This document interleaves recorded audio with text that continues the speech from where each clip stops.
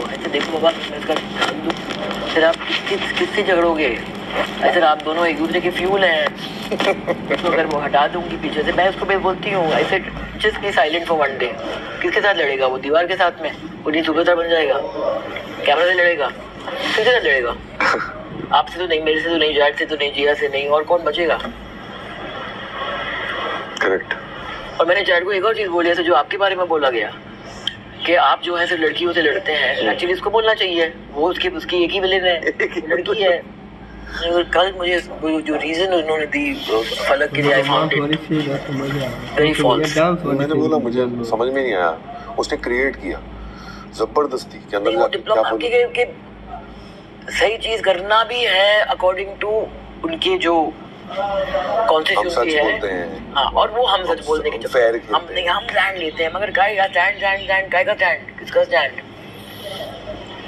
पर मेरे को ये नहीं समझ में आया कि उसने मेन रीजन क्यों नहीं दिया? कि आपको बोला जा रहा है आप बोलती नहीं है ओपिनियन नहीं होते हैं आपका एंगर नहीं दिखता जहाँ निकलना चाहिए वहाँ निकलता नहीं है।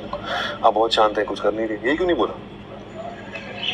मेरे और फलक के पीछे पड़ा हुआ है। जब भी आके हमसे बात करता है, चालू हो जाता है। अरे, आप लोगों के बीच में है क्या? अगर प्यार है तो इजहार करिए ना। अगर जो है वो बोलिए ना। प्यार तो खुल के किया जाता है। ना, तेरे को क्या लगता है भाई? तेरे को लगता है मैंने कर दिया है तो तू वो रख। तेरे को लगता है मैंने नहीं किया है तो तू वो रख। मतलब मेरे को उसको एक्सप्लेन करने की ज़रूरत नहीं है। तेरे को क्यों एक्सप्लेन करूँ? अगर होगा भी तो तेरे को क्यों बताऊँ? क्यों बताऊँ? तो बार बार फिर वही टॉपिक और घिसा पिटा है। जिसका बेटा हाँ अभी अभी वो घिस रहा है उसको। आई फील ये कहीं ना कहीं मैंने देखा है कि ये सडनली लास्ट फ्यू डेज़ में इसके अंदर चेंज आया है। ऐसे नहीं था पहले वो। नहीं। अभिषेक मैं तो बोल रहा हूँ ना।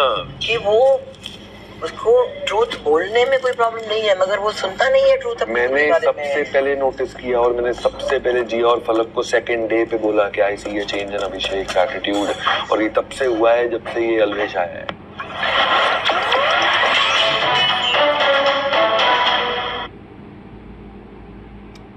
था।